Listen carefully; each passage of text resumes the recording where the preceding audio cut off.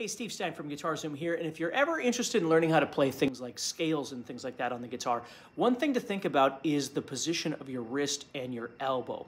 Now, if you think about it, when you're playing certain chords, you might be able to be in this position where your first finger's up here and your pinky is way down here. But when you start playing scales, that's not going to work. And trying to do this with your hand is very uncomfortable and it's not, not really productive. So what we want to learn to do is take that elbow and turn it inward.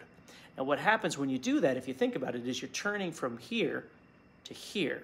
And now that pinky has a fighting chance to do things. Your, your, your uh, hand is at a little bit of an angle, and that's okay. So when I come up here to play a scale now, instead of being in this position, I'm turned upward, so my pinky can start working with my other fingers.